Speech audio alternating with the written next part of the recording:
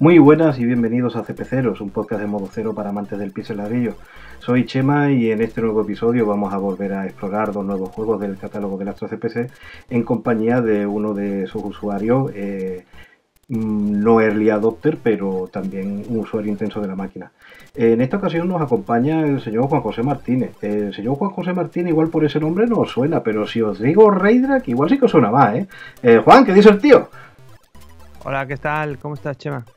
Muy bien, eh, muchísimas gracias Juan por haberte pasado por aquí, por, por CPCeros, a contarnos un poquito tus batallitas con el, con el Astra CPC. Nosotros sabemos que tú inicialmente, si no me equivoco, tuviste Spectrum, pero ya que, eh, ya que es tu primera vez aquí en el podcast además, Juan, eh, ¿cómo conoces tú el Astra CPC? ¿Cómo se mete esa máquina en tu vida? Pues mira, yo en casa tenía Spectrum, pero ah, me encontré CPCs, bueno, aparte de que tenía algún amiguete con, con, con 464, pero yo mi experiencia con el CPC empezó allí por el año, creo que era el año 89-90. habían clases extraescolares en el colegio, en un colegio de GB, y y las clases extraescolares de informática, entre comillas, porque bueno, en realidad venía un chaval allí que nos enseñaba un poquito de Basic. y, aquellas clases eran en, en, en Amstrad CPC, en 6128. Eso por una parte. Y por otra parte, pues después de haber probado el tema ese de las clases de informática y, ver que, pues, que me gustaba, ¿sabes? Que, A ver, el Basic no era exactamente el mismo que tenía en casa con el Spectrum, pero estaba aprendiendo bastante. Ya mis padres, que los quiero mucho, me apunté a una academia de informática donde ya utilizamos PCs por aquel entonces, pero en una esquina había un 6128. Estaba un último mohicano que se resistía a jubilarse, ¿no? Bueno, esto era 89-90. Pues, pues, puede ser, pero claro, aquella máquina para las clases no, no se utilizaba ni cuando acababa mi clase pues yo decía, bueno, pues puedo quedar aquí un ratillo y tal, sí, va. Pues me ponía ahí con el, con el CPC en la esquina y a mí ahí me tenían que tirar con agua caliente, porque no había manera que fuera yo a mi casa. Así que prácticamente todos los días yo tenía ahí mi, mi sesión de, de CPC, eh, que la verdad es que me encantaba con, sus problemas, ¿no? Porque a veces llegaba el profesor de la, de la, de la academia y me decía, pero tío, ¿tú qué haces aquí todavía? Oye, tu madre, que, ¿dónde está mi hijo? es lo típico de, oye, pero tú no tienes caso o qué. Pues más o menos, ¿no? La verdad es que, a ver, esa máquina yo imagino que pues será como en el, como en el colegio. son unas máquinas que están muy bien, el teclado es genial, y, ya llevan disco que te permiten trabajar a otro nivel, no es como con cinta que es un poquito más sí, más, más, puñeterillo en ese sentido a nivel profesional. Además, como tú bien comentas, la serie CPC era robusta, que eso era importante para lo que eran academias, escuelas y tal, porque tenía un teclado duro y aparte pues una carcasa grande, ¿no? la broma típica de mis amigos de Reto Entre Amigos, el tope de puerta de ascensor que te aguanta el ascensor sin ningún problema. bueno, el, 6128 la verdad es que tiene una pinta súper profesional. Yo recuerdo que, que a mí, bueno, a ver, ya lo conocía un poco por el tema del colegio, pero Em, en la academia era, un tema bastante curioso porque los PCs eh, tenían otra, otra pinta por aquel entonces, ¿sabes? Y, esta máquina se veía ahí súper chula con su disquetera en un lado y tal. Y, bueno, yo tampoco conocía los disquets de, de 3 pulgadas. Eso también era una cosa curiosa. Sí. Y nada, y bueno, yo creo que los invitados que has tenido hasta ahora, si no me equivoco, eran todo, han sido todos en color, pero ya tengo que decir que mi experiencia con el CPC no fue en color. ¿Fue en fósforo verde? Bueno, en el colegio era, era, monitor verde. Aleluya, aleluya, que todo el mundo siempre dice que el CPC, la recuerdo, era en fósforo verde y todo el mundo me ha venido en color. El, primer, el primero pobre que, ha, venido al podcast. No, mira, en la, en la, academia además, esto he intentado buscarlo porque no. Era el, era el, el, el CPC de la academia era, era monocromo, pero no era verde. Entonces he estado buscando, investigando, a ver qué podía ser aquella, aquel monitor. ¿Usaba un monitor en, de blanco y negro de la serie Plus, por ejemplo? Sí, con un cable especial que sé que se puede utilizar en el 6128, pero no lo sé. No sé si sería otro tipo de pantalla porque em, me extrañaría mucho porque hoy en día sí que te puedes pillar una fuente de alimentación externa para el CPC y, puedes utilizar un monitor RGB normal, ¿sabes? Bueno, pero antiguamente estaba el, modulador MP2, creo que era el nombre, que te daba tanto corriente como salía modulada en RF que lo podías ya conectar a cualquier televisor. Igual lo el caso, es que, el caso es que no recuerdo, sé que era, era monocromo, mm. ¿vale? Era monocromo. Lo que no recuerdo es si a lo mejor esa pantalla venía de CPC Plus, de un CPC Plus, que lo veo un poco raro por aquel entonces. Sí, además las fechas no me cuadran, ¿no? Pero sí que tenían otras historias allí. Sé que había, sé que allí había PCW alguna historia. Sí, pues puede ser algún otro tipo de monitor RGB. No tengo ni idea. Bueno. no tengo ni idea. Em, pero sí que sé que era. De hecho, eh, ya te digo que eh, mi experiencia fue eh, en, monitor verde en, en, el colegio y luego mi amigo que tenía el 464 también tenía monitor verde.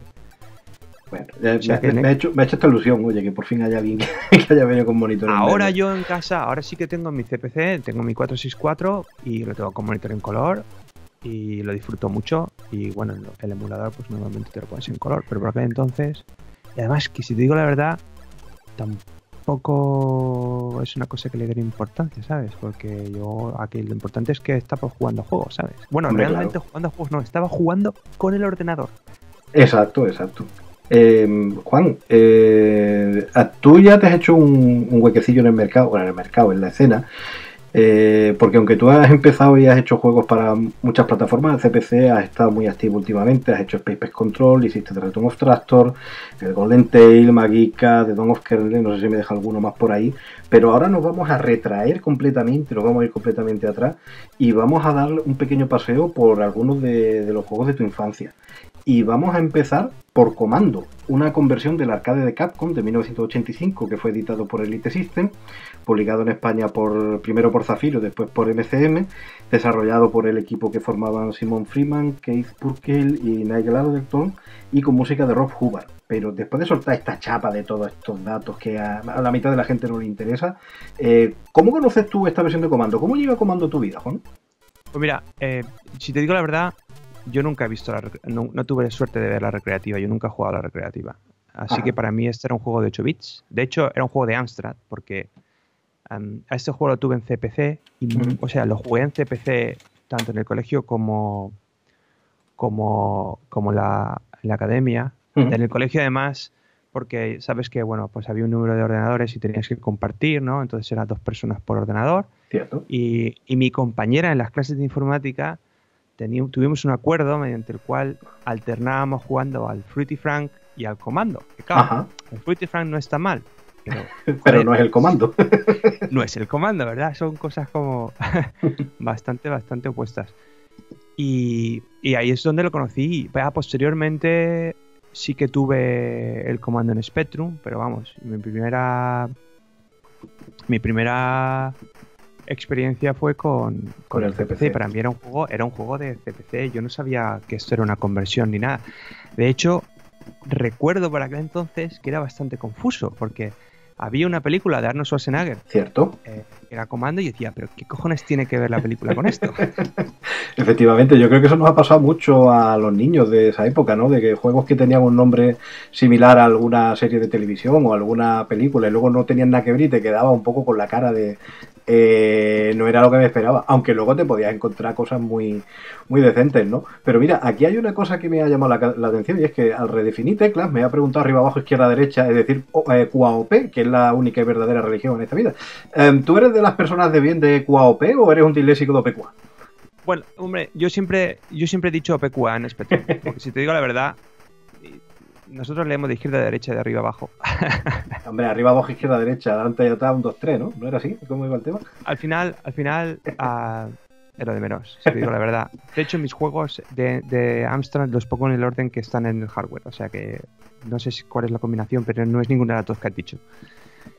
Al final, ya te digo, este juego eh, me encantaba. Eh, porque además yo creo que muchas veces eh, los juegos por aquel entonces se disfrutaban más así, ¿sabes?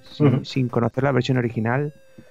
Porque claro, ¿cómo vas a comparar la máquina recreativa? Aunque bueno, esta es una recreativa de, pues no sé de qué año sería. Del, mismo año, del 85. Del 85. Cierto. Pues hombre, yo imagino que la potencia que tendría aquello no es ni mucho menos lo que podías tener en un CPC o en un Spectrum, en una máquina doméstica, la verdad.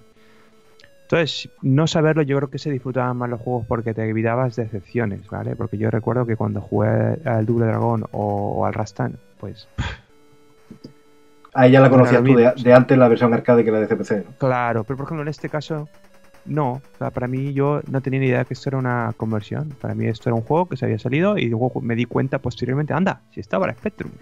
Y entonces, ¿qué tal fueron tus primeras impresiones con el juego una vez que lo, que lo tienes en marcha y lo vas probando?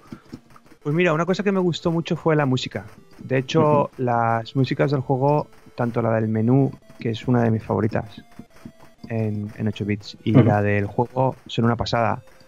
Vale que la, la, versión original de Rob Hobart es del 64 y es brutal, pero esta versión con el chip AY para mí me encanta, me gusta un montón. De hecho, fíjate lo que te digo, yo pensaba que cuando jugué el Spectrum, pensaba que el Spectrum, porque, a ver, yo recordaba, pero no del todo, y lo jugué recientemente, resulta que la versión de Spectrum era 48K y no tenía música. O sea, la versión de CPC tenía música, pero la de Spectrum nunca tuvo. Ahora, si te bajas un, un, un tab o lo que sea para Spectrum, lo que hay por ahí es una versión para 128, que es un hack ruso, que tiene una versión de la música del Commodore 64 para, para el juego, pero el juego original de Spectrum no tenía música. Y a mí la música me encantaba. De hecho, de hecho yo me llevaba los auriculares porque en, la, en, la, academia tampoco me voy a poner ahí con el tema. no, darlo a tope de, estaría feo, claro. no, no, no, no, ya había que disimular un poco como que estaba programando algo con los auriculares puestos. Oye, Juan, ¿este te lo has llegado a pasar en su día o este se te ha resistido? Que va. Yo, mira, si te digo la verdad, de hecho, eh, lo estuve pensando hace no hace mucho. ¿Qué juegos me he pasado yo en aquella época? Pues creo que muy pocos. Pero me habré pasado el. Creo que, que completé el Bruce Lee, el Saboteur. Y creo que en Spectrum creo que me acabé el, el, Gauntlet porque había un truco pulsando una tecla que traspasaba las paredes. Pero yo es que nunca he sido. Yo he disfrutado mucho los juegos, pero he disfrutado las tres primeras fases. como la mayoría de nosotros, las cosas como son. Y mm, ¿El juego era o es tan perfecto como lo estás contando? ¿O había cosillas que te chirriaran? ¿Había cosillas de estas que digas, oh, qué coraje me da esto? Si esto no estuviera estaría mejor, o si esto yo lo haría de otra forma. A ver, a ver, el juego. Yo, a ver, no creo que no tenía la percepción de dificultad, ¿sabes? Porque además era un juego que era jugar, llegar un poco más, pero bueno, al final llegas a tu límite, ¿no? Porque mm. además en aquellos años yo tendría 12 o 13 años, ¿sabes? Tampoco... pero bueno, eh, sí era difícil. A lo mejor un poquito más de... Porque además recuerdo que, que lo de los checkpoints es un poco risa, porque tú vas jugando, te matan y a lo mejor el checkpoint, el sitio donde vuelves a aparecer, está más adelante de donde te habían matado. ya haciendo trampa desde jovencito. Eso, eso a veces daba, daba daba ánimo, ¿sabes? Y me matan, pero avanzo. No sé, la verdad es que el juego está muy bien. Yo posteriormente sí que he visto la recreativa, joder, la recreativa está muchísimo mejor que, la versión tanto de, CPC como de Spectrum, pero es que no hay ni punto, juegan bien. No hay ni punto de comparación. Son entretenidos. sí, pero son entretenidos. Yo creo que son bastante dignas. Si acaso lo que hubiera estado un poquito mejor es un poquito más de variedad en los escenarios, es que ahí yo, creo, yo creo que son parcos precisamente por el tema del scroll del CPC, para que no petardeara mucho. Yo qué sé, porque si te fijas tiene un poquito de parpadeos y todo, o sea que tampoco es que esté muy fino. Si, si te digo la verdad, este juego, si hubiera sido un poquito más como el Ikari Warriors, pero sin ser tan lentorro, es que eso ya yo creo que yo creo que hubiera estado ya el. Por eso te digo, pero es un poquito lento, ¿verdad? O sea, si hubieran encontrado un poquito más, no sé, poquito más de gracia con la programación, meterle un poquito más de juego a los fondos y tal. Y a lo mejor este juego lo que les echa de menos es un poco más enemigo, enemigos finales. Porque también digas al final de una sección te, salen ahí un montón de enemigos en fila y no. si te em, digo la verdad, mira, en casa, en casa, antes de tener el, comando, yo tenía el eh, Who Dares Wins, el 2. El 2. Que bueno, Siempre mucha gente ha dicho que es un poquito la versión cutre de comando, porque le quitaron el scroll y le metieron unos cambios para que no fuera una copia descarada del comando. Pero, por ejemplo, ese tenía un poquito más de variedad, un poquito más de cosas que hacer. A lo mejor eso lo, le hubiera, hubiera mejorado un poco al comando. Le podría haber pasado lo que, lo que le pasó al Griffor, ¿no? Que en CPC no tienes scroll y sin embargo eh, te permitía hacerlo, aunque fuera pantalla a pantalla, una cosa un poquito más llamativa, más vistosa de lo que posiblemente hubiera sido el juego si hubieran apostado por una solución más eh, de scroll, pseudo-scroll cutrilla, ¿no? Mire, si te digo la verdad, la versión de CPC me gusta mucho la de comando. Ah, más que nada porque el tema de la música, ya te digo, me encanta. Es una de las, de las canciones favoritas de, de 8 bits y esta versión está bastante, bastante bien. De eh, hecho, con la tensión, ¿sabes? Y todo el rollo de, jugar la partida cuando te matan y pasas a la pantalla de los récords, es, yo creo que es ambienta brutal. Me encanta. de verdad. Eh, Juan, eh, ¿lo has jugado recientemente? Em, si te digo la verdad, sí. De hecho, cuando me compré mi CPC hace tres años, creo que fue. Eh, bueno, eh, jugué, lo primero jugué a juegos nuevos que ha hecho gente reciente para, y me quedé flipado de las cosas que podía hacer el CPC. Pero luego también repasé un poco pues juegos que jugué en aquella época, pues Comando, el otro juego que vamos a ver hoy, el Wonder Boy, ¿qué más? El Fruity también le he hecho un vistazo, el Omumi, todas las cosas que pues, jugábamos en, Lo que recordaba de la época, ¿no? Sí, para ver como tal. Y la verdad es que lo recordaba difícil, pero a lo mejor no tanto. Eh, eh, ¿Era más o menos como lo recordaba, solo con la diferencia de la percepción de dificultad? ¿O es lo que se ha dicho muchas veces tan manio de uff, que el juego no envejeció muy bien? No lo sé, si te digo la verdad, primero que verlo en color fue una experiencia completamente distinta. Porque ya te digo que ese lo jugué en fósforo verde y en monocromo. Entonces verlo en color estaba guay. Lo que quizás no recordaba yo tanto es el tema del parpadeo. o a lo mejor es que como ahora estoy programando para el CPC y estoy haciendo juegos para el CPC, me fijo más en los detalles técnicos, pero yo creo que eso no, eso no lo recordaba yo. O sea, para mí el juego se movía, es un buen juego, ¿sabes? Y ahora pues lo veo que es un poco más, algunos trozos van un poco más agarrados, muchos enemigos, muchas balas, se ralentiza un poco esas cosas me fijo más. Pero yo creo que aguanta bien.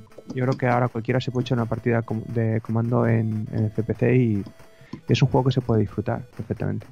Y ya sabemos que las comparaciones son odiosas, ¿no? Pero nos has dicho que lo has probado también en versión de Spectrum, en la versión de arcade, eh, sea por motivo de nostalgia, sea por motivo de objetividad, de lo que sea.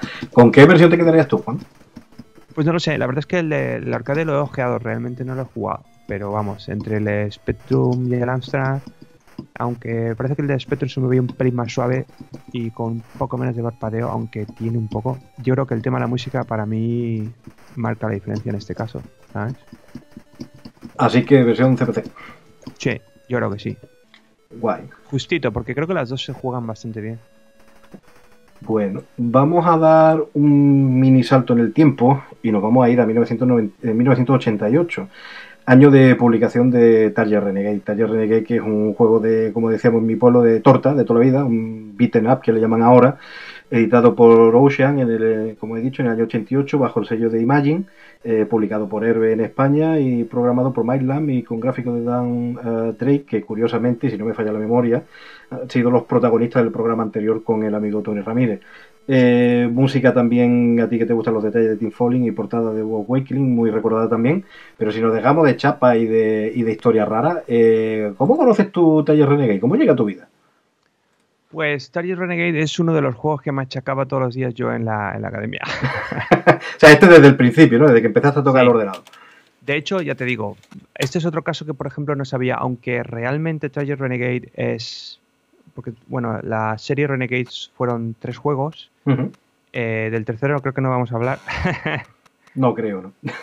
Pero el primero sí que era una conversión de una de una recreativa de Tecnos que se, tenía un nombre en japonés que no, no recuerdo. La de Kunio-kun. Sí, bueno, el tema es que esta fue esto Renegade es una adaptación de aquella de aquella eh, recreativa para el mercado occidental. Exacto. Y fue bueno, yo esto no lo sabía, ¿vale? Pero este fue el, predecesor de, Double, Dragon, ¿vale? Double Dragon. desde un punto de vista de pues, el hardware que usaban y la evolución del género. Y es curioso porque el Renegade sí que lo he visto en recreativa. en, había un, salón recreativo en, cerca de Alicante, en Arenales del Sol, donde veraneábamos los veranos. Y recuerdo que esta máquina estaba un verano. Pero por aquel entonces nosotros, a ver, por aquel entonces la máquina era bastante vieja porque el... recuerdo que por ejemplo estaban esta máquina las tortugas ninja que se podían jugar creo que tres o cuatro jugadores. El de cuatro de Konami. Y por ejemplo el Snow Bros estaba ya por ahí, o sea que, la máquina era vieja. Y después de haber machacado por ejemplo mucho al Double Dragon, el, los controles y todo como iba el, Renegade era un poquito, pues se hacía un poco duro, ¿sabes? La, máquina de más original es que tenía tres botones, si no me equivoco. Yo, recuerdo que había mucha expectación, había mucha gente jugando porque no era una máquina común, pero luego echabas, hacías cola tal, te echabas una partida y dices, de hecho, ya te digo, jugábamos mucho más a, las tortugas ninja. bueno, es que, es que no hay color, obviamente. Eh, está claro, pero bueno. O sea, que, la recreativa de la, del primer juego sí que la conocí. Pero cuando yo conocí este juego y jugaba este juego, para mí esto era lo primero que, bueno, siempre comparas con lo que conoces, ¿sabes? Dices, eh, pues mira, esto es como el Double Dragon, pero un poco distinto. Y la verdad es que, si te digo la verdad, vistas conversiones de Double Dragon, creo que, que era mejor jugar a esto, si te digo la verdad. Sin saber yo por aquel entonces que era una conversión ni nada. Y una vez que empiezas a echar tus primeras partidas en el, allí en la academia, ¿cómo, cómo fueron las primeras impresiones con el juego, Juan? Pues la verdad es que tardé porque por aquel, cuando empecé a jugar al juego este no me llevaba no me llevaba los auriculares los, eh, que no, no llegué a oír música ni nada. Luego ya cuando me puse la música ya me di cuenta que, que la música es, un poquito rara no sé.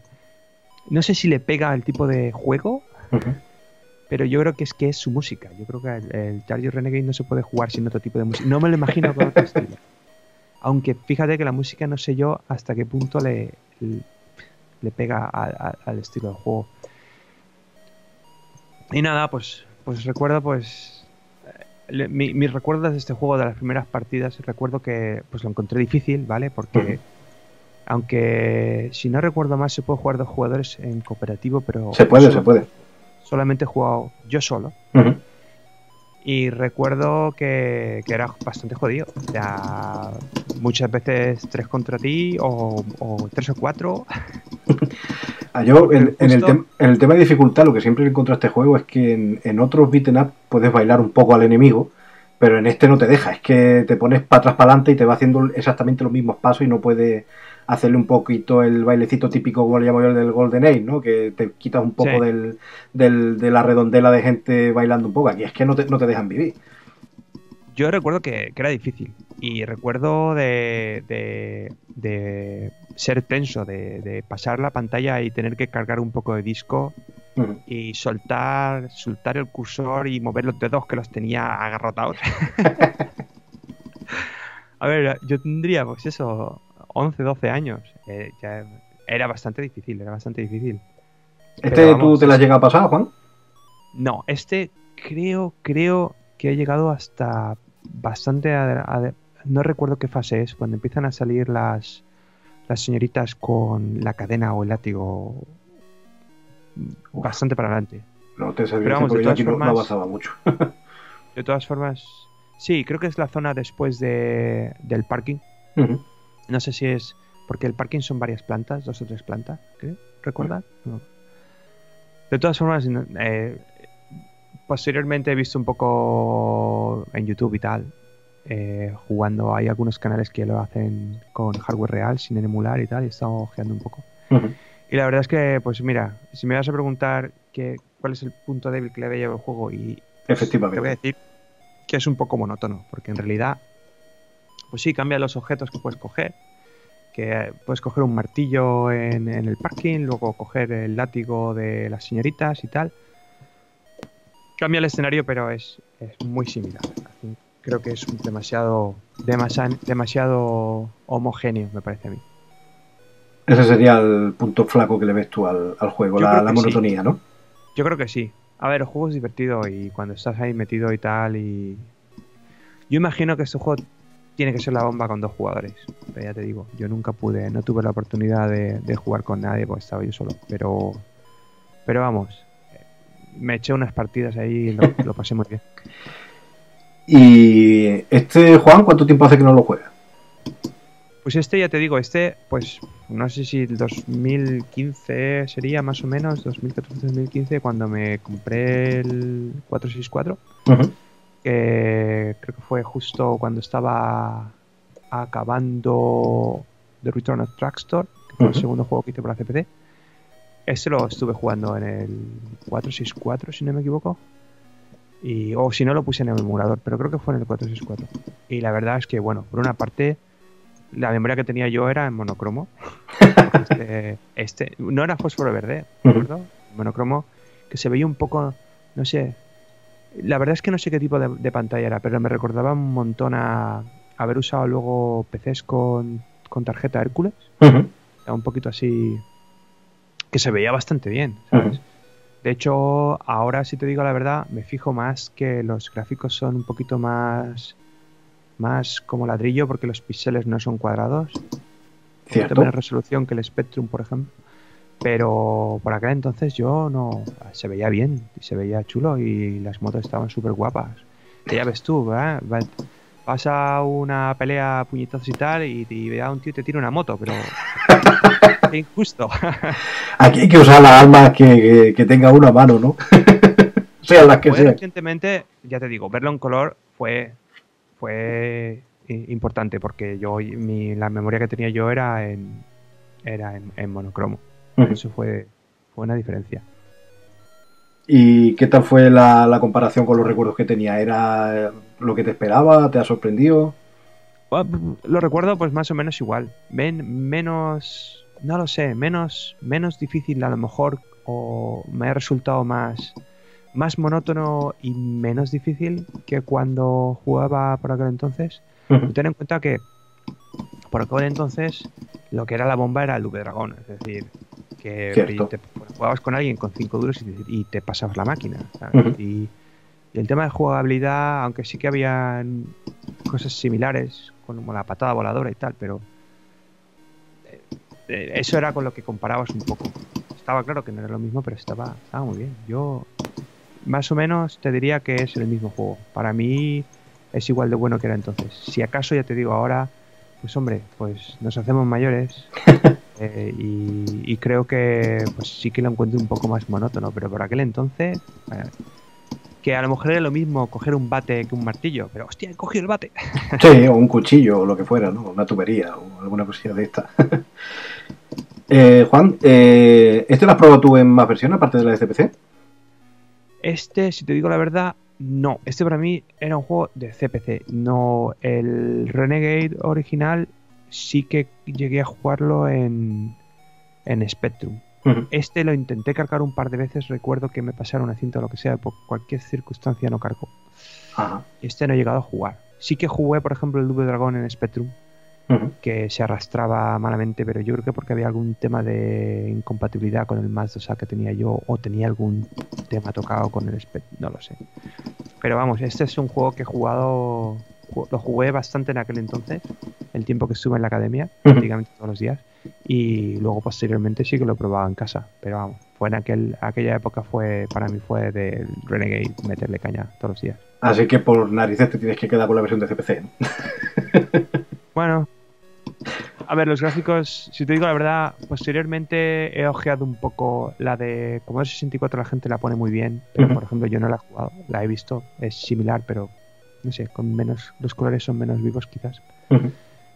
Pero no, no, eh, realmente he jugado solamente este. A ver, ahora a estas alturas, si quiero jugar este tipo de juegos, hay otras, otros juegos, ¿sabes? Claro. Si te digo la verdad, mira, este juego podía haber, si te fijas a la evolución del género, este juego podía haber mejorado muchísimo con pequeños detalles, como que hubieran cosas en el escenario que podía romper para coger energía o armas o lo que sea. y, le metes un enemigo final de fase poco más interesante lo que llevaba y pues, esto es un juegazo. Aún así es un buen juego, ¿eh? Yo creo que esto es un clásico del CPC. Sí, de lo más querido además porque siempre cuando se hacen los típicos tops de la, de la plataforma y de recuerdos y de tal, siempre la gente suele tirar mucho de, suele ser de los primeros que suelen venir a, la mente, la verdad. Eh, bueno, pues en principio, Juan, por nuestra parte estamos cubiertos. Eh, cuéntanos, ¿en qué proyectos andas metido ahora? ¿Qué, estás tramando? Pues bueno, como sabes, este agosto pasado saqué The Town of Kernel ah, para CPC. ¿Cierto? Que bueno, a la gente le ha gustado bastante y estoy encantado que a la gente le guste y juega el juego. Y bueno, en temas CPC tengo un par de cosas en marcha. Tengo acabado ya el motor de la segunda parte de Golden Tail, pero estoy ahí con el diseño de enemigos, eh, diseño de escenarios y es un poco... Que ya te digo, es me, me, duele un montón tener un juego con un motor que funciona acabado, pero no voy a sacar la segunda parte que sea el mismo juego que la primera. Estaría feo, que tú ahora no tienes plazos de entrega como tenían antiguamente, ¿no? ya, entonces lo que estoy intentando es darle un poco de vuelta de, tuerca. Sí que tengo, hay, hay ideas nuevas que no habían en el, en el primer juego, tipo, porque bueno, no, no voy a hablar de las mecánicas del juego, pero tú sabes que juega con un tema de que te haces invisible porque eres un ninja y te mueves más rápido. Pues tengo un par, hay puzzles con tiempo ahora, tipo pulsar una palanca y tienes que ir con la invisibilidad para llegar a donde tienes que ir, cosas así. Y bueno, está, bien, estoy utilizando el motor que utilicé en kernel, con lo que van a entrar un montón de pantallas, va a quedar chulo, pero es la inspiración, ¿sabes? Si tengo espacio para meter 12 enemigos, pues tienen que ser 12 enemigos que la gente disfrute, ¿sabes? Jugando contra ellos. Entiendo. Y yo no me voy a quedar tranquilo si no te pregunto porque he llevado hipeado tiempo. Nosotros sabemos que los proyectos salen cuando están hechos. ¿vale? O sea, que sin presión ninguna, pero ¿qué pasa con Tales of ¡Wow! Mira, ahora mismo estoy, estoy haciendo demasiadas cosas a la vez. Demasiadas cosas. Eh, si te digo la verdad, me lo paso muy bien. Y tengo tiempo y mi, mi filosofía es que las cosas irán saliendo y ya está.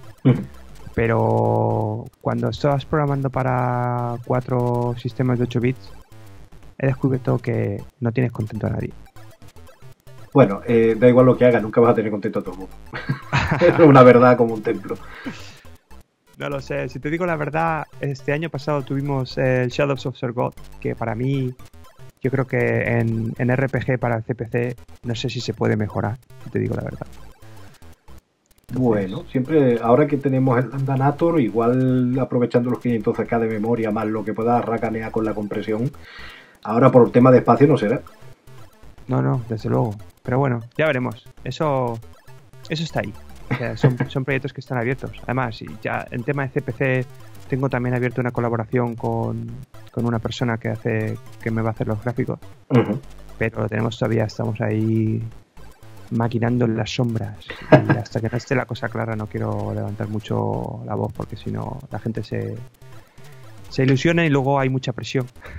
Ya, es, lo malo de, de, anunciar los proyectos, ¿no? Que cuando eh, sí, la gente, lo que tú dices, ilusiona y luego viene la presión y la bronca. Y oye, que me, hizo mucha gracia el meme que pusiste el otro día del el, hombre con las dos chicas, ¿no? Y mi sistema en Raidrak y tal, ¿no? Que siempre la gente se ilusiona porque va, cuando está haciendo un juego para su plataforma, cambias de plataforma y ya vienen las broncas, ¿no? de todas formas, ya te digo una cosa, la gente la gente es bastante más, más abierta. Mira, yo eh, conozco gente que me ha dicho, digo, dice, mira, yo siempre he sido de Commodore, ¿vale? Mm. En Commodore 64 desde pequeño, juego a Commodore 64 frecuentemente y tal y cual.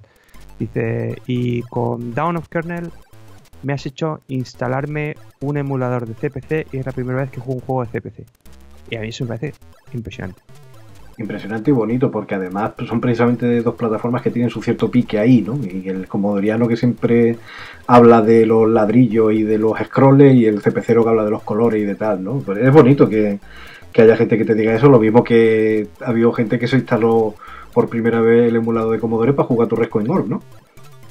Pues sí, la verdad es que sí. Además que estamos viviendo en una época ahora mismo que, que, que esto es glorioso. Podemos tener ahí todos los sistemas en casa con emuladores y bueno, pues el que le apetezca, nadie impide comprarse también las máquinas físicas si quieres, pero bueno, que se puede disfrutar todo. Ahora es que esto es inmenso.